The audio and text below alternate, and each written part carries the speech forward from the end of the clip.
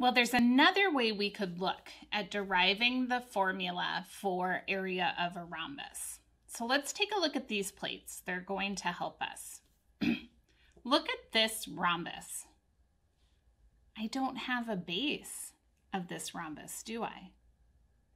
So we can't use the formula of base times height because there's no base. There's no, no part of this rhombus that's um, that's functioning as a base. So we are going to have to use the other parts of a rhombus to help us with this. First, let's make sure that these are equivalent. That's equivalent. Let's just make sure.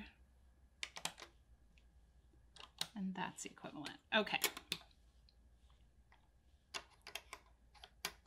We're going to identify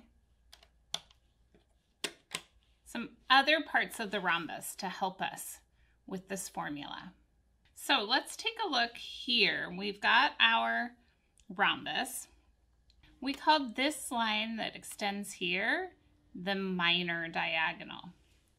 And remember, we have another diagonal here that's called the major diagonal. So let's label those. For the minor diagonal, we'll use a lowercase d. And for the major diagonal, we'll use an uppercase d.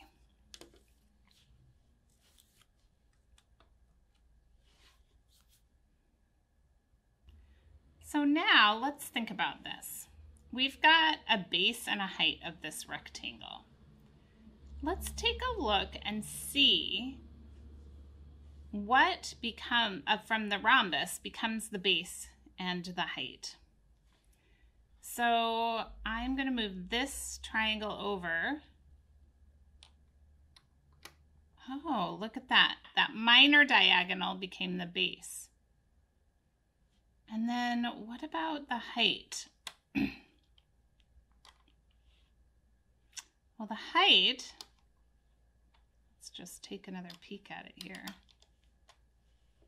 was half of the major diagonal. So in fact, if we wanted to find the area, we could multiply the minor diagonal